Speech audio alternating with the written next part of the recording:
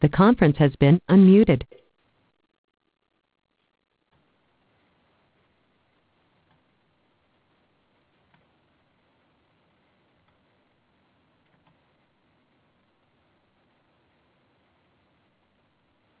Good morning, everybody. This is Mary Jenkins from the Massachusetts Cultural Council.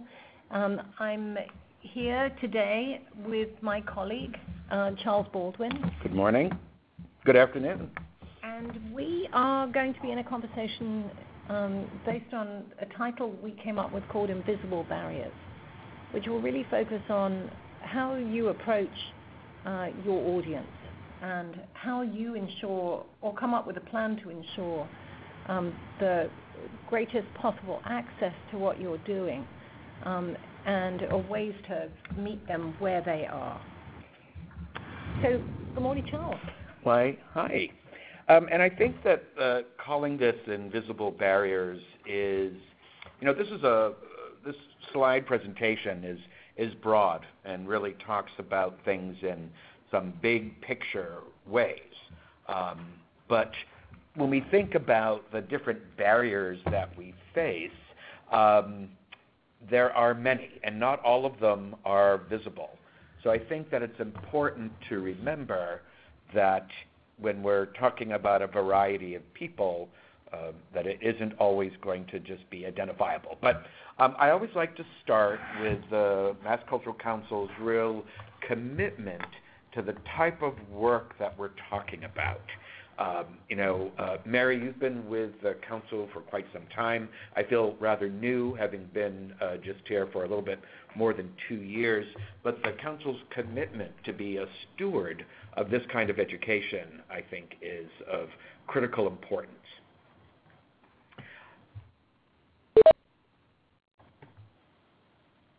So, invisible barriers and the goals of universal participation.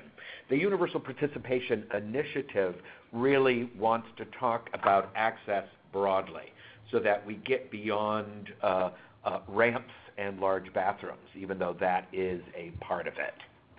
So I'd like to start in discussing really the idea, you know, the constructive identity is often something that is used to separate us. And when we think about ability, uh, the ADA is, uh, is a law and regulations that really address access for people with disabilities as a civil right, and that is great. But when we break that down and we think about impairment as a, a problem in body function, uh, if you're unable to do an activity uh, based on, uh, you know, you're unable to shop for yourself or reach things, uh, reach for things, um, and the idea of participation being difficult because of life situations. I always like to bring this up because to me it addresses that disability is not just a health problem. I think we have a propensity to want to think about it uh, from a health manner or from an academic perspective. Um, but if you look at the numbers, one in five Americans are a person with a disability. You know, that's 20%. Um, kids between the ages of 3 and 21, 13% are identified as a person with disability. And a lot of these disabilities are brain based disabilities that may affect vision, motion, hearing, but it does stem from the brain. And the number that I think is really important uh, to think about is the aging population. 50% of adults 65 plus have disabilities, and 10,000 people are turning 65 every day. And that is often a population that connects with institutions' donor base, their board and council members. But when we think about functional limitations, we want to remember that arthritis or back problems, respiratory diseases, cognitive development, I mean, these are all things that are not visible, which is really why we've titled this invisible disabilities because we're really trying to get an idea of anticipation. We look at this screen, and that international symbol of the stick figure in the wheelchair has come to embody all disabilities. And yet, um, it's so much broader than that. I mean, if you look at the, the numbers, just the sheer uh, difficulty getting up and down stairs or being able to do everyday tasks are huge. Uh, and people who are blind or have low vision, people who are deaf or have uh, low hearing, um, those people are not identified by this great stamp of the stick figure in the wheelchair. Uh, so we want to remember that, again, disability, or as I like to think about, the spectrum of ability is broader than the easy identifier of someone who may use a mobility device. Briefly, people with disabilities, and again, that's everybody. I'm wearing glasses today. I broke my wrist in August, so I've got a you know a, a bum wrist. Uh, people with disabilities are all ages, are have work, have jobs, have lives, have families. But I think the key thing on this slide that I want to remember and have people uh, who are listening in remember is that people with disabilities don't always identify as a person with a disability. And that, I think, is critical. And then one last notion on that is the idea of if we remove the construct of identity and rather than labeling the person with a disability, but think of the environment as disabling, then really what we have is from toddler to elder ability on a spectrum, and the idea that uh, this ability or these different abilities, these varying abilities outside of identity, but human functional limitations are actually quite very regular, and we all experience them. So this is really why we're talking about how do we engage institutionally and regionally to provide certain enhancements, uh, intentional anticipation, um, because really we're all on this spectrum. Uh, the ADA Act was uh, passed 27 years ago with some revisions in 2010. Uh, this is a civil rights act and it really is there to prevent discrimination and to provide equal opportunity, and that is in public accommodations, employment, transportation, state and local services, as well as te- telecommunications. So, again, this is a Civil Rights Act. Um, but I'd like to sort of, uh, for our purposes and for the listeners and for our discussion, Mary, I'd like to sort of call it down into three sort of action steps. Um, I'm not the ADA police. I'm not a legal scholar. I am an enthusiastic participant in wanting to engage the full spectrum of our humanity and our citizens. Um, so I call it down to three things integrated programs. Are, the goal is to bring people together and create power in our plurality. Uh, reasonable accommodations. Uh, sometimes people get kind of uh, stuck on all the technological enhancements. Those are great. Um, and we'll discuss this. Reasonable is contextual, so uh, don't just hide behind that. Um, and the part that that resonates with me is the phrase effective communication, um, because I think that is something that really we want in our everyday lives to begin with. Um, so that it's a, those are broad phrases that can really mean a lot. And those are the three action steps I always like to bring down to the ADA. Um, we'll just briefly look at this picture by Tom Olin because I like to remind ourselves that uh, in 1990 and again in some of the healthcare protests, people with disabilities are putting themselves on the front line. This is activism activated. So, and these are great pictures by Tom Olin if you want to look them up. But let's get started. I think the most important way to begin is to really, what I call authentic assessment, really look at where you are as an institution, within a neighborhood. You know, the people who are listening in may be working for institutions, but they may be wanting to help organizations. Uh, they may be wanting to create an event with an individual who is sparked with an idea. So it really requires looking authentically at the environment in a manner that is candid. You know, uh, this isn't to you know give pluses and minuses, but it really is to be honest. Um, what you have, what you need. I do think that you want to coordinate with institutions. That is uh, the whole idea of not having to do it alone. Marketing and communications talks to the idea of effective communication. Uh, indoors and outdoors have their own sort of uh, specific uh, uh, intrinsic values. So, looking a little bit at that. Um, risk management is, you know, it's a it's a big topic. We could spend all day on risk management, but I do want to highlight a few things. Um, and then the idea of responding to requests, because so often when people come into this idea of how do we really engage and embrace and invite the full variety of people into our event, into our building, into our institution, uh, sometimes people uh, do this out of either I have a connection, a personal connection, uh, based on my family, my own lived experience. Um, but sometimes higher ups do it for fear of litigation. so we want to help them with that. But the, the thing we want to always emphasize is make that first step.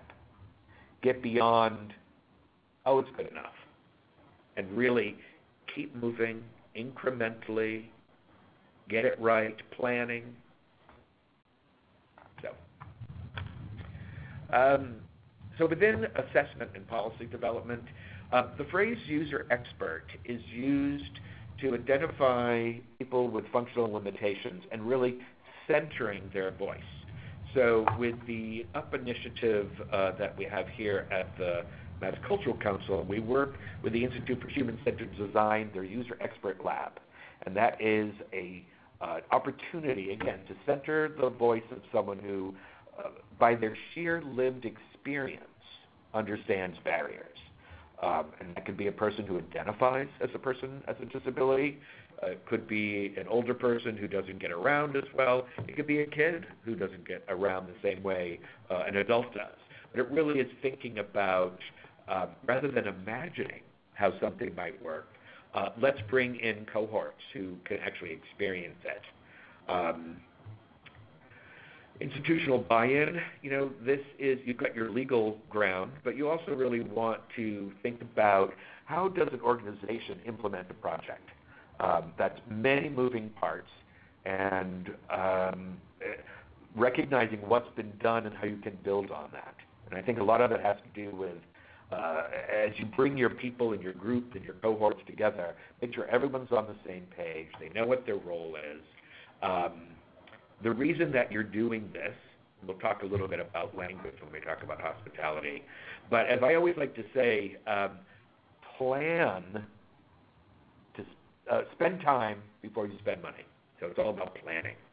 And when we think about the built environment, because I know many of uh, people who may be listening in and the kind of work that you do out in the districts, Mary, that um, it's you know it's built environments and all the spaces in between so that you really want to think of place as a sequence. So uh, when I work with institutions, they may say, well, I can't control the MBTA, but you want to be aware that to get to a place, that, that getting to and leaving from that information is just as important. So, um, and that all the different uh, surfaces and grades and sidewalks and crosswalks. I mean, it, it may not be your distinct role, but the understanding of getting in and out that transition, I think, is important. Uh, when I think about coordinating institutions, some of that is, um, you know, we're, we're putting on an event. So we've got the musical group and then the, the venue. But sometimes it really is wanting to, again, really connect with people. So in this case, you know, we talk about uh, staff training, getting everyone on the same page. And uh, human resources are often the most affordable things that you can do. And attitude makes a huge difference you know, things can go, it's customer service. Things can be difficult, but if you have a great customer service experience, that makes all the difference. And I use the phrase radical hospitality because um, I have learned that uh, over time, having done this a long time, uh, some people are better at it than others. and I think that's okay, but you want to identify who those people are who can lead and can be your, uh, you know, front house crew. Uh, again, spend time before money. This is where you get into attitude, always really important. Um, and think about partnering, you know, when we were talking about the user expert and centering marginalized voices, think about partnering with councils on aging or the Office of Disabilities. Uh, you may have independent living centers, senior centers, uh, social service agencies. These are ways to really, again, center, uh, center voices that are not always listened to and often overlooked, but can really provide some insight. And we can't stress enough effective communication. Um, we know that the first point of contact for most people is the website. And you know, gone are the days where you might wander on by first. Um, people check out websites. They check out websites on their computers, their phones, their tablets. Um, so making sure that your website there's there's no specific regulations, but uh, the there are obligations, I believe, and suggestions. Um, if you look up WCAG 2.0, which I have to say is web content, anyway, I have to say I, I don't have the exact words for the acronym, but they're going to give you a lot of suggestions, which in the graphic to the right of the slide really talks about some of the bigger pictures on making digital and web access. It's robust, it's perceivable, it's operable, it's understandable. I mean, this comes down into intuitive. I mean, I don't know how many times we were doing it today as we were getting set up for this web platform. It wasn't necessarily intuitive as we were trying to figure out how to make this uh, the system sort of go. Um, but that's what you want from the websites, and whether that's a, a city website, an institution website, uh, a website that is emerging, um, to be aware of not only do you want it to be operable and intuitive, but you want to make sure that images, if, if, if I was using a screen reader, alt text provides a description of the image so it doesn't just read image. Meta tags are going to help you rise up in your searches. Uh, captions for videos are, are, I think, vitally important. Uh, YouTube does this uh, based on an audio file, but um, there are free caption software out there, um, actually located in the greater Boston area. Um, and to be thinking about multiple languages. Um, often when people think about access and they start thinking about people with disabilities, they're immediately going to American Sign Language and our, our followers and fans who are, are, are deaf. And ASL, of course, is a language. Once you start thinking about ASL, what are the other languages that are spoken by some of your patrons? So, and um, indoors and outdoors and I think we've had we could have a, a, full discussion on mapping and wayfinding, particularly when you're thinking about how do you move someone to a place that ties into that whole idea of place as sequence, getting there and leaving.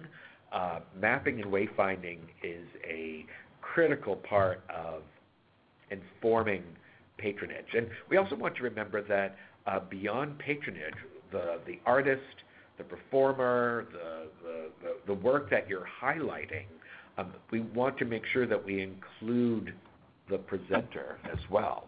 Um, so when you're thinking about uh, place, do you think about how you get there and how you leave.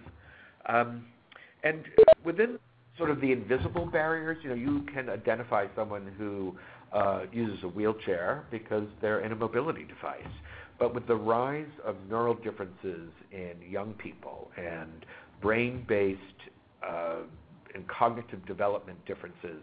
Uh, these are these put the spectrum of ability uh, in a vast range, and we know that for every person who likes the wide open spaces, you've also got people who want to have um, secluded and private spots.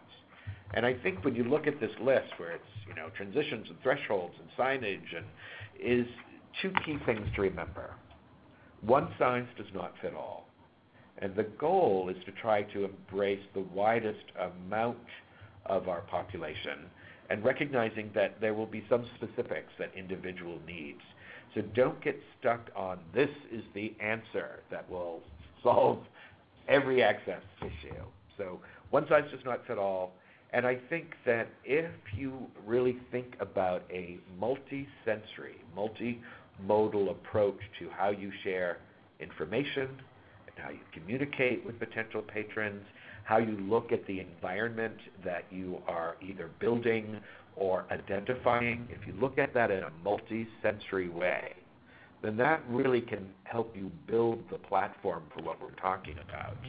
Um, so you've got your five senses, you know, the, the, the physical, the tactile for touch, what you can smell, what you can taste, what you can hear.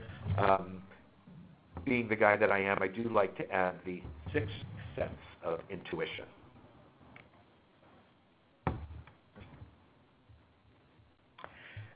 I do like this picture of the man flipping a banana peel because uh, a couple of things. Certainly, uh, trauma uh, for as we're thinking about uh, again human functional limitations and how we experiencing that, trauma and a temporary functional limitation is everywhere. So that's something uh, that we are all part of. I think I mentioned my broken wrist in August and the reading glasses I'm wearing because I'm getting older. These are two methods of, of sort of defining a functional limitation.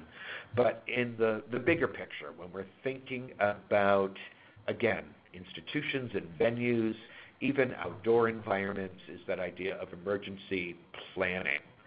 People who can't move as well, need, you don't want to forget them people who can't hear an audio alarm. That's why we have the lights flashing.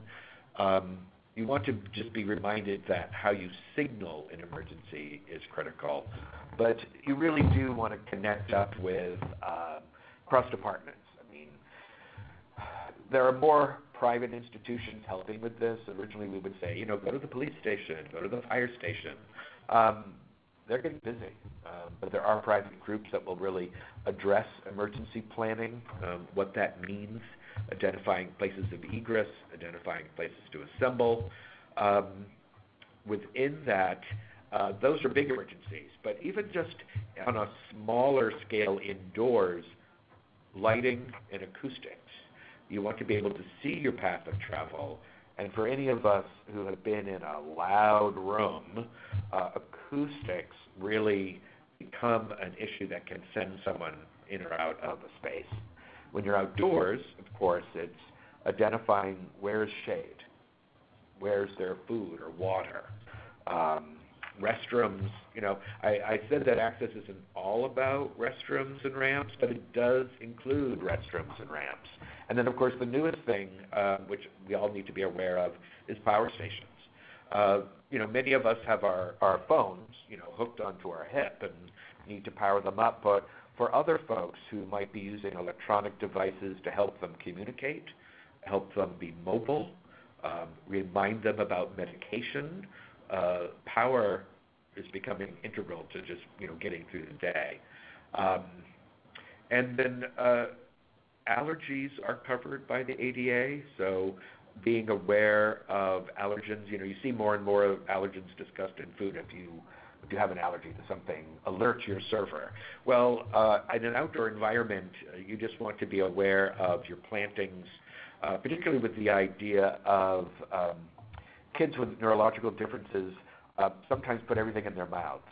So you might not want to have rhubarb leaves, which are poisonous, uh, growing everywhere. Um, so just things to be aware of. And this really ties into that idea of the authentic assessment, big picture, and looking at some of the details. And all of this is really to inspire you, listeners, us, to have a plan. Because as I said at the beginning, what might drive a person to participate in thinking about access, which again, often comes from a place either your own connection based on your own lived experience or a loved one or a friend. Um, a lot of this sometimes comes from fear of litigation. Um, but you want to have a plan in place. And even if you're moving along incrementally, this plan allows you to uh, to be involved. So rather than I hear sometimes from organizations, we're waiting to get started as soon as we get to whatever that might be. And it's often like people want to be at the perfect spot before they start. And the the push and the belief is to start now. Because if you start with this authentic assessment, you think about a plan with short term and long term goals, you remain nimble because everything changes. We've identified that one size does not fit all. If there should be a grievance against you, you now have a plan in place. You've got people identified who can be the point person because no one wants to just have to make, you know, call nobody. If you uh, are on the website and you have something you want to say, you want to talk to a person. But you've got a plan in place, people have their roles.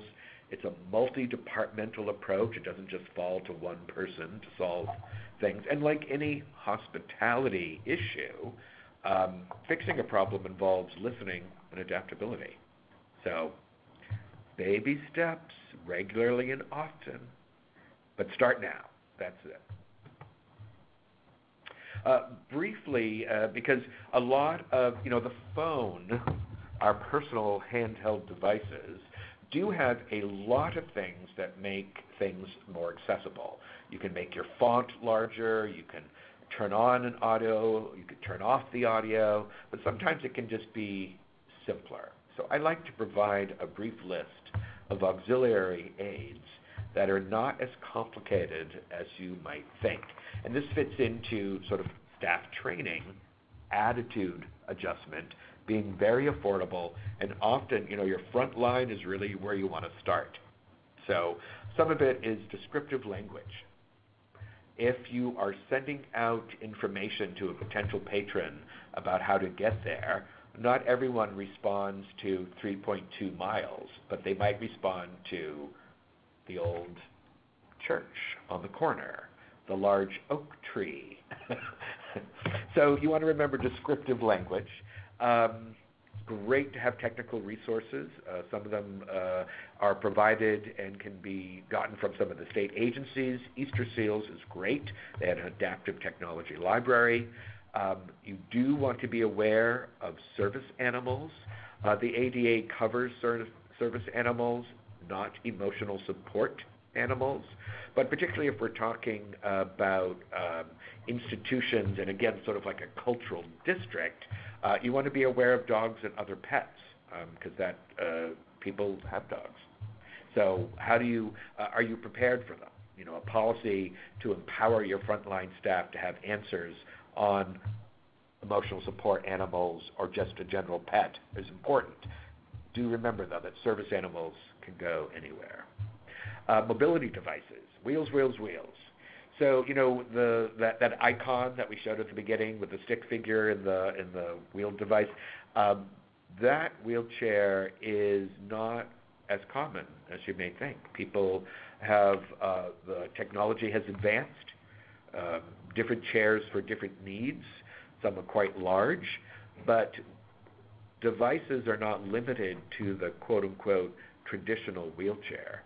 Segways could be covered by mobility devices for someone who couldn't sit down.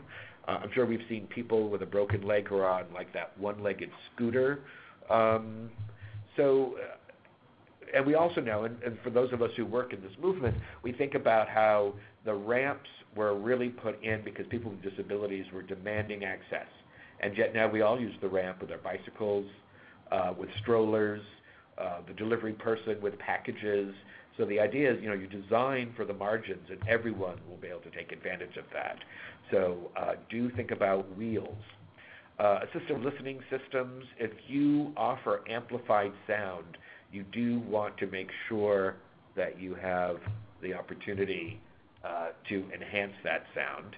Um, large print programs are large print is a great way to help someone with visual impairment. Um, think about that multimodal approach as a method for communication, and uh, always remember your human resources.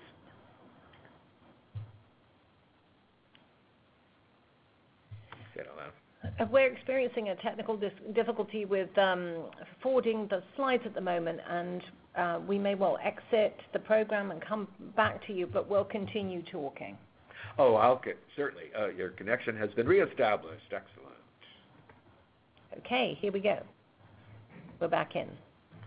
So we're going to sort of go through the next couple of slides fairly quickly um, because I really do want to hear questions from uh, our listeners, and I want Mary to jump in and tease out some of these things. But um, here at the Mass Cultural Council, we use the uh, principles of universal design to really help us understand uh, and anticipate the great variety of humans. And although this is cultural competency work through the lens of ability, uh, we really think that all of this work falls under diversity, equity, and inclusion, and how do we embrace the widest possible uh, selection of our humanity and not leave anybody out. Um, universal design has seven principles: equitable, equitable, flexible, simple, and intuitive. See, there's my sixth sense there, intuition. Perceptible, tolerance for error. This is hard because so many organizations are afraid of making mistakes. And this is where I often hear, you know, we're about to start as soon as we are in that right place. But it's okay to make mistakes if you learn from them and build upon that. Uh, low physical effort. Um, you know, one of those things why you have doors that open easily, it's not just for someone who might be using a chair to push open, but for those of us who don't have a lot of strength in our arms. So low physical effort and size and space for approach and use. And again, that affects many of us.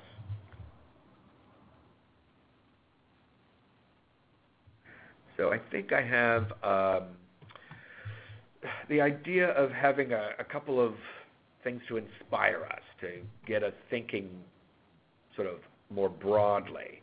And I have a couple of slides here that will, I hope, inspire us. We'll see if they come up, or else I'm just going to keep on chatting. So, again, the goals of the ADA, I believe, we'll again reiterate this for emphasis integrated settings, I think that's really important. Um, we know there are times where populations want something that is distinctly theirs. Sometimes that's based on language. Everyone speaks Spanish, it's great to have a Spanish program. Um, but this also could connect to uh, families with children or adults along the spectrum, sometimes based on behaviors and noises. People feel uh, better to be in their own sort of group, feel safer. Um, but the goal, the bigger goal, I think, is integration. Uh, we did sort of touch upon the idea of effective communication. I hear sometimes organizations, people in organizations will say to me, we provided ASL interpreting, but nobody came. Well, I would say then that your communications department maybe wasn't effectively communicating that you have this. So when we're thinking about communication, it's really a two-way street. How are you communicating with your organization, and how are you communicating with your regular patrons, and how are you communicating with patrons that you would love to come into your institutions? You know, we here at the Mass Cultural Council are primarily working with nonprofit institutions, and nonprofit institutions are really here to serve and serve the public. Um, and then I think my last little story is about reasonable accommodations. Because, as I said, I, we want you to keep moving, baby steps, incremental to get it right. And the desire and the legal requirement for reasonable accommodations is contextual. Uh, obviously, small budget organization may not have the ability to uh, uh, hit uh, you know, spend money, which is why you want to find affordable ways. That's where we get back into attitude. But uh, context, because large picture. If they are someone is complaining uh, about a reasonable accommodation not being made at a very large institution, uh, then it's harder to sort of fight that. Um, so what is reasonable is contextual. And I think that connects to my final slide about the eight goals of universal design. You know, we talk about the principles; those are the the heady, heady uh, horizon. But when we think about the goals, sometimes they're a little simpler. Body fit. You know, we all have different shaped bodies, and how do we how are they accommodated? You know, we can certainly uh, we know that the airlines and their tiny little seats are not necessarily thinking about universal design. They're thinking we're all very slim hipped people and short legged people. Um, and that connects to comfort and awareness. Awareness is a great way to be thinking about staff training because that's really what it connects to. Understanding. If your staff is unaware of how a device works, that's a problem. Uh, you want staff to understand why you're doing it, connects to vision, but also understand some of the enhancements that we may be talking about. I like these these these goals. They they come out of the University of Buffalo because I do think that wellness is something, you know, health promotion is something that we need to be aware of, and it connects to the outdoor environments. Because I know some of people listening in are not necessarily institutional people, but regional or district people, and the outdoors uh, connects, I think, intrinsically to well-being. Social integration, you know, this is the, the, the goal of integration versus separation, the, the power that we can get from our plurality. Uh, personalization, that's, you know, that's all connected to the device, but it also connects to, rather than Mary and I sitting here imagining, why don't we actually ask people what do they need? And then cultural appropriateness. And I think this connects sometimes to, uh, I think a good example is ASL, American Sign Language people will often want to add uh, American Sign Language into a program. It's beautiful without necessarily recognizing it's a language. And it's not just beautiful. I mean, many languages are beautiful, but um, it's a language and a culture, and you really, I think, this connects to uh, sort of the ethos of the program and the movement, which is really about nothing about us without us. Because isn't really so much of this work about creating a sense of belonging, uh, a sense of ownership, so that you uh, and new people coming into your institution feel deeply connected and engaged? So that nothing about us without us, I think, resonates as a as a policy to always be striving for. The next couple of slides, oh, my right, another photo by Tom Olin, uh, which I love, 1990, uh, demanding access by getting out of their chairs. People were crawling up the Capitol steps. And think back to a year ago when people were being lifted out of their wheelchairs to try to protect health care rights. So again, people willing to go on the front line. And this is something I think for those of us working in cultural institutions, cultural districts, we want to honor. This is civil rights work.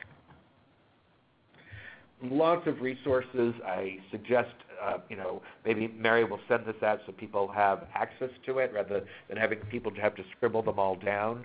In New England and in Massachusetts, we have some wonderful organizations that can help. Uh, and of course, we here at the Mass Cultural Council and the Universal Participation Initiative are also here to help, which is really what's defining this webinar. So I'm hoping we got a lot of offices. Big government has a lot of offices, um, but I'm hoping now that I've I've said enough that might provoke some interesting questions, either from people who are listening in or from Mary, who's been sitting here scribbling notes madly. So, um, so the thing that really struck me early on in, in your presentation was if you switch out thinking about people as being the the um, as being the sort of dis, as being disabled, and you think about the environment as being the um, disabling, then what's required is a human response to the environment. So that it, I think it's sort of, for me, it helps take the lid off of how do I deal with all these people and this is overwhelming and I can't possibly do this for all of these you know, people with all of these needs. Whereas if I approach the sort of environment and think about, you know, in what ways my community or my cultural district um, has limitations, it allows you to sort of open up a conversation about about what that looks think- like. And Mhm. you know, I mean, so so I'm not talking to you, the executive director of an institution, saying you're at fault here. It's it's really being able to say we have this environment that's a problem. How are we going to solve that? And I think that's that's key. You know, when uh, again going back to the simple example of uh, the ramp, um, the idea is to create an environment that is welcoming and easy. We've sort of identified different goals and different principles, but rather than thinking, oh, the ramp is for this type of person, but rather the ramped entrance into my institution creates an easier, more accessible environment. Less identifying who needs it, and more just, again, looking at the environment and how can we make it easier, more accessible, relevant. Uh, and that, again, I think ties to the social environment as well as the information environment. So that's it right there. And Environmental. The the other thing that that I um, that sometimes comes up as a sort of sensitive area, you mentioned um, finding user experts um, to help you do the kind of assessment that we're um, that we're talking about. And you said, you know, to approach uh, seniors, to approach school groups. How do you do that sensitively? So you're not sort of saying, mm, well, you're in a wheelchair, therefore I want you to kind of walk around with me and and help me figure Well- that. How do you do that sensitively? Well, you want to be sensitive, but you also want to have a certain level of candor. Um, you know, you're asking people to consult based on expertise. So, how would you approach any consultant that you think is an expert?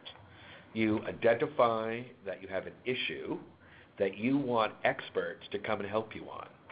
Now, optimally, you provide some sort of stipend or payment because we also know that you know people in the arts, people with disabilities are being asked to do things for free all the time. It could be a Dunkin' Donuts card. Well, not to give a shout out to them, but the idea is um, think of folks that you're approaching as expert consultants, and that's how you you do it. I have an issue, and I'm looking for experts to help me, and people will rise to the occasion. Okay. And so I think um, we've got about 15 minutes left, and I'm going to unmute everyone um, so that you can join in the conversation with us. The conference has been unmuted. And if you heard that recording, you're now unmuted. So if anybody has a question they want to put forward or an observation, or they want to talk about something they've done in their own community, then um, please feel free to um, comment at this time.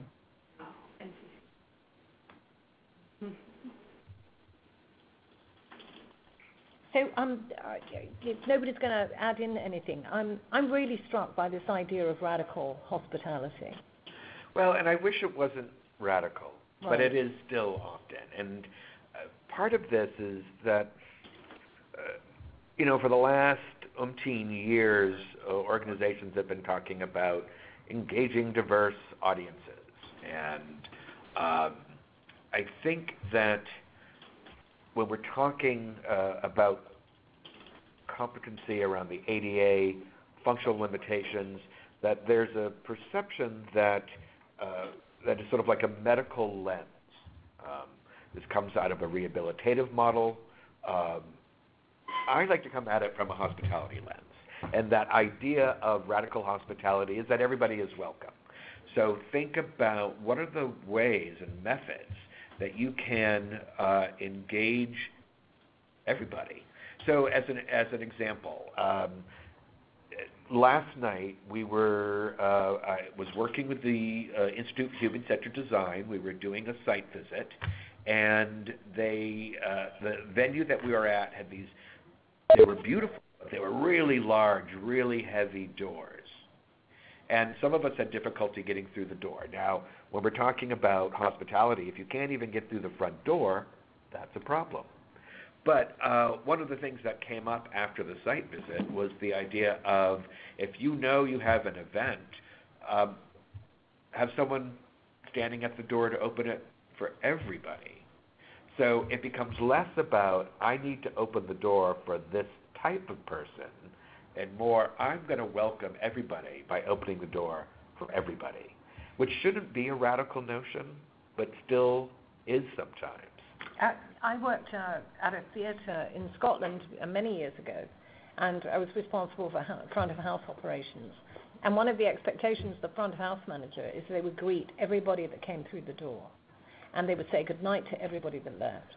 And I think that what that showed me at that time, whether or not I was really, I wouldn't have said I was particularly aware of the effect that I was having, but um, over time you came to realize that it makes a difference to people to be welcomed um, in that way. And I think that that's, you know, we we are we're not as friendly as we think we are. um, that's what strikes me. Um, we um, oftentimes when people are visiting an institution, it can be for the first time. And I think we forget that. It can be the first, or they're bringing their children, or whatever it is they're doing.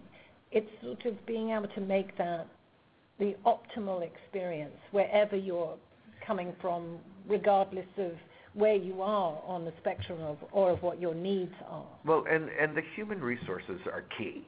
So uh, in, in the in the environment of a theater, so in the environment of a theater, there's amplified sound. So uh, theaters are now required, places of assembly are required to have amplification devices, so that if you are hard of hearing, there's a device that will amplify the sound.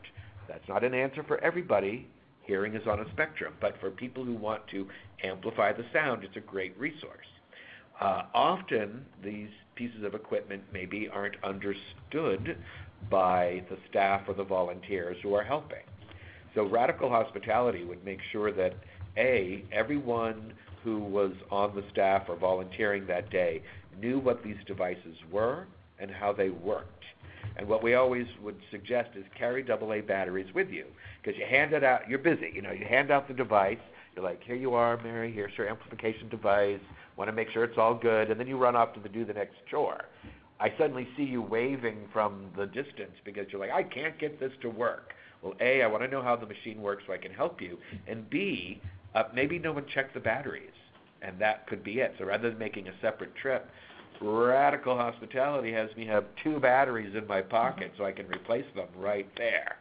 That kind of exchange between a patron and a volunteer, a patron and employee, you're going to be psyched because now it's working and it didn't require a lot of like, oh, I must go to the manager to find batteries. So it touches upon a lot of points: hospitality, patron services, empowerment of your staff or volunteer to know how the equipment works, um, and also, and this ties into saying hello, goodbye to people, um, going back to the patron that you were assisting to make sure everything's okay.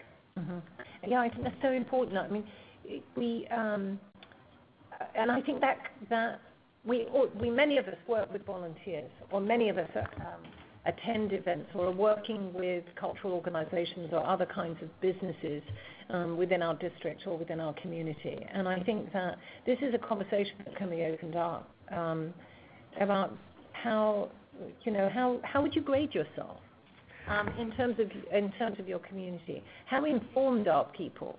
Um, in terms of the information they're exchanging? And how do you think about and have conversations about um, taking care of the people that have made the effort to turn out for the things that you are doing? Um, you know, safety is one of the other concerns that uh, uh, is a very real one. Well, and I, you know, this was a this was a, a broad overview to hopefully get people wanting to dive deeper. And I do think that uh, you know we could do a whole session on safety and risk management. Um, because sometimes safety is as simple. Again, using last night's site visit as an example, um, we were traveling with a woman who uses a service dog, and the property, uh, for whatever reason, didn't have any waste cans. No, that, garbage cans. Uh, but we were traveling with an animal, a service animal that had access because she needed it. So sometimes, as simple as a trash can becomes a safety issue. Um, the big picture, of course, is that uh, is about awareness uh, and is about you know no one wants anyone falling down the stairs. No one wants uh, a, a, a child, uh, you know, getting his or her hand in a door. Um, the resources that are developed uh, to create access for persons with disabilities do benefit a larger part of the population than you may be aware of. Mm-hmm. Um, and I think that safety might often help leaders understand why this is important, as is the fear of litigation, as it's a, it's a top to bottom buy-in because you want that you want the leadership to buy in, but you need to empower and inform your volunteers and your frontline staff as well. Everyone really needs to be a part of it.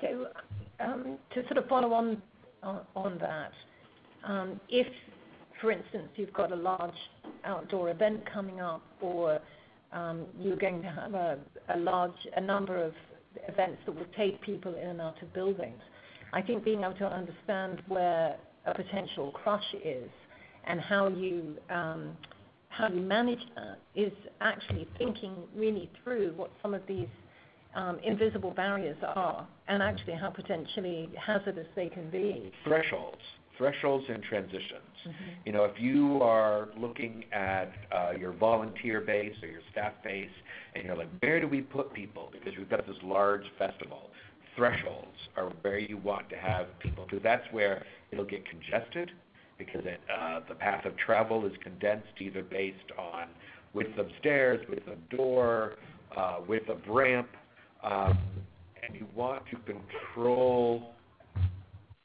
point of entry at those constricted places. So things like being able to ordinarily, if you're an institution that wouldn't have somebody in the elevator, yeah. but you know there's a major event and you're going to have a lot of people, um, what you don't want to do is allow too many into, people into that environment at any one time. So you might want to consider actually having an elevator, somebody literally in the elevator, actually d- dealing with the tr- traffic flow. Um, in my experience, as long as people know what's going on, they don't mind. See, that's you know? it. It really is about that sort of mapping and wayfinding that idea of informing people. Because right. you've got an outdoor festival, and you're psyched that hundreds of people are coming. But it would be great to have a path of travel for people utilizing wheels. So that could be people with mobility devices, people with a child. That does restrict it to wheels, and it might mean someone is at the head of that saying, oh, this path is for um, but again, as long as people are informed, the person who's making these announcements or uh, you know is friendly, that makes all the difference. People understand that, mm-hmm. and you know the the crowds, um, whether you've got whether you're typical, neurologically different, I mean all of those things. Crowds uh, have a potential for being difficult for a variety of people for a variety of reasons. So can you create paths of travel that are more open, um, which would then help other people? Or if you can't create a path of travel, can you create an environment, one tent, one area, that is for chill out? Many of us, anxiety, I mean, there's all sorts of reasons why you might want to get out of the crowd.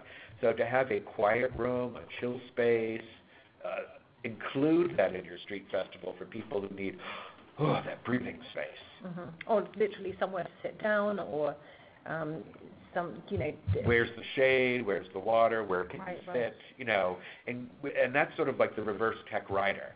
If this is going to be the area of the festival along Main mm-hmm. Street, what are the the uh, string points that we can connect where mm-hmm. people can get a breather, people can take a break?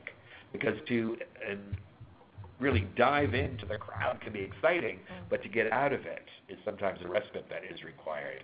Um, so knowing that you want these two environments, be intentional about that when you're putting your street fair outdoor festival together. You know, um, I, it just struck me that one of the things that would be really easy to do um, for folks is to, the next time you have a, um, a meeting with your partners, or you have a meeting, if you're a local cultural council member, you have a meeting with them, or there's a staff meeting.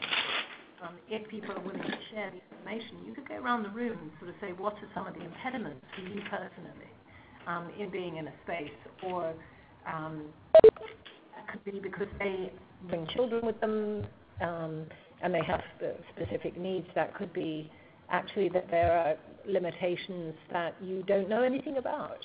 Um, but it's a way of actually being able to open up a discussion. I mean, I think the first step we have to take is really build our own personal awareness of really what these limitations look like um, for the people that are around us.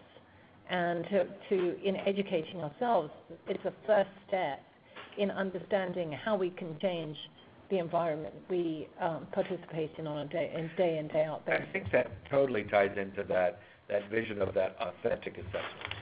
You know, it's not always easy to be vulnerable, but the idea of placing yourself in the world and what your limitations are, um, that is a great way to get started. And if you can get a collection of people who are willing to be honest and authentic, and then travel through the environment to really see what works, what doesn't, what you might need. Again, we know that not one all one size doesn't fit all, but how wonderful to start recognizing the different perceptions of an environment and what those that variety of limitations might be. So it really then does help you intentionally design for inclusion.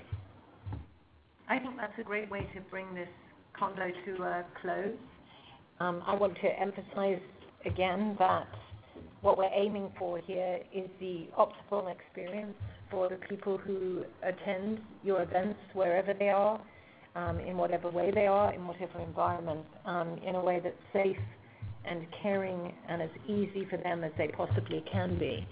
So um, I will be sharing uh, the resources that uh, Charles has listed here um, with everybody who's participated. We have recorded this convo, and I'd like to think that you use this um, as a, a, way of being able to kickstart a conversation uh, amongst the people that you are currently working with. Um, please let me know after the fact if you have any questions.